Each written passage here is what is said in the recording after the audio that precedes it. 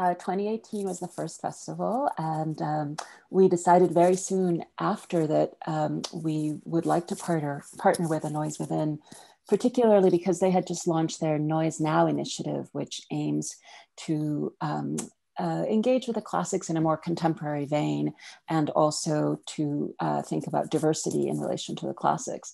And so that seemed like a perfect fit. And so we were well along the way to planning an actual festival at A Noise Within in Pasadena, um, when of course we had to change gears and we, we went to um, this virtual mode. It was a, a long process of sort of figuring out what the theater world was doing and what kinds of avenues this would open up for us. And of course, I had to change gears from figuring out, you know, airfares and visas and things like that to suddenly thinking, who would we collaborate if we could really collaborate with anyone? Um, and at the same time, it became clear that there were certain um, artists in Spain who were particularly excited to play with the new virtual formats in relation to the classics. Um, and our, our Spanish producer, uh, Lorenzo Papagallo, was very agile in putting us in touch. And so we've really been able to be part of work that is being produced now and created for the festival. And it's been a tremendously exciting um, experience. So we're going to have in this amazingly international festival now, we're going to have companies from Malaga and Madrid, from Mexico City. Um, Red Bull from New York is going to be doing a stage reading. And then, of course, we have um, an LA, a brand new play created, written in LA, um, and three adaptations of Golden Age plays by LA playwrights to think about promoting Hispanic classical theater in the English speaking world. Um, and it did have a very LA point of origin, which is that, um, you know, soon after I've moved, I'd moved here, and particularly when I was thinking about uh, performance outdoors, um, when I was running the UCLA Clark Library and trying to bring performance to those spaces, I was very struck by the fact that Shakespeare seemed to occupy almost all of those outdoor performance spaces, right? And that in a city with uh, as many as 4 million Spanish speakers, it was too bad that there was no Lope in the park or Calderon in the park alongside Shakespeare in the park.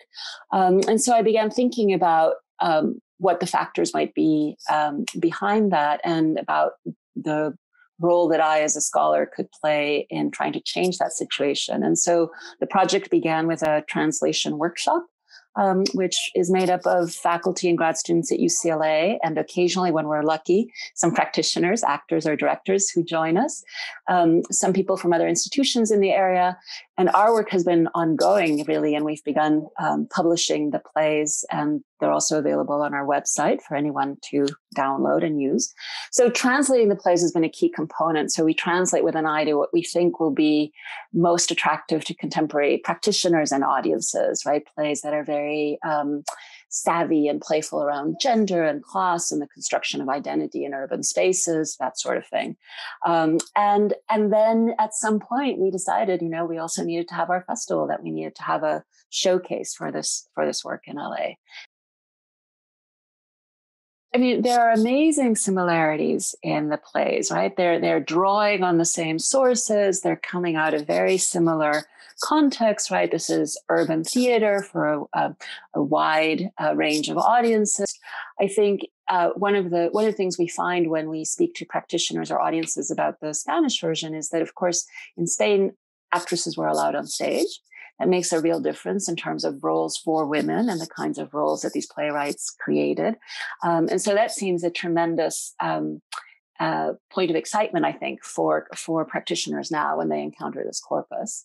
Um, you know, nothing makes me happier than another production of Shakespeare, but I do think there's a there's an important point to be made about how to expand all the work that has been done on a diversity of who does Shakespeare, right? Who gets cast, who directs, um, what the what the sort of take is on Shakespeare, um, with a concomitant diversity in what actually gets produced. And so, whether it is pairing Shakespeare with another playwright of his time who is working in a different tradition, or simply making room if you know there is one slot that year for a classical play for thinking about, uh, you know, again a parallel tradition.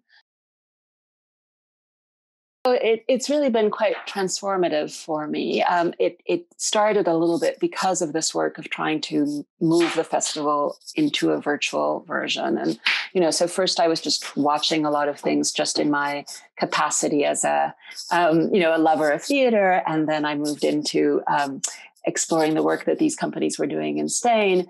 Um, and um, there really came a point where it just seemed like it was burgeoning and there were so many interesting questions being raised by the attempts to move theater onto these digital formats. I've been very cheered in the middle of so much that is really dire and grim for the performing arts in the pandemic um, by the, the thinking around um, access and affordability and collaboration across geographical distances, right? All the things that um, theater on Zoom makes available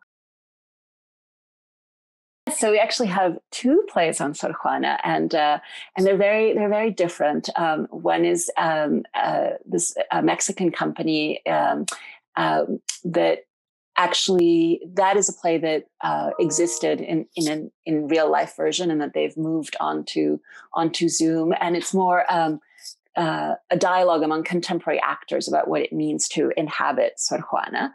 Um, the other, which is uh, a Zoom native, uh, piece is um, a sort of meditation on what uh, being away from the world means, particularly for female creators. And so it's a uh, this is a, a very exciting um, young company in Spain named Grumelot, um, and they do devised work, and they um, they also train young, young actors, and they ended up with a class that was entirely uh, female actors and they decided that they wanted to work on Sor Juana.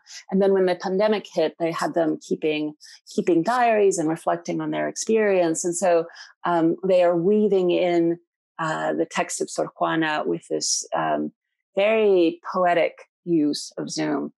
Two very different pieces. It's all happening on the weekend of, you know, Sor Juana's birthday, traditionally as it's celebrated. We didn't we didn't really set out to have gender at the center of our festival, but that is a guiding principle in our choice of text for translation. So the closing piece is also sort of strong women front and center because um, the Red Bull reading is of a play uh, by a female playwright from the 1630s by Ana Caro, who writes um, a sort of talking back to Don Juan play um, called The Courage to Right a Woman's Wrongs, um, in which she imagines a woman who sort of follows her Don Juan to, um, to uh, make things right. So.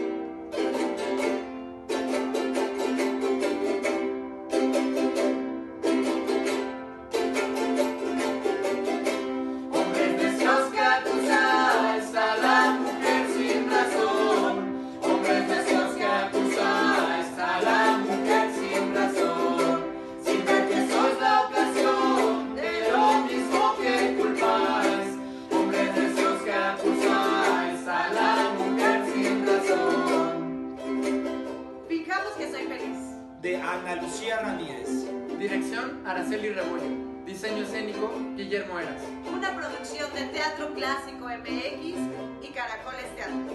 Un viaje por los versos de Sor Juana en una realidad distópica. Festeja con nosotros su nacimiento este 12 de noviembre.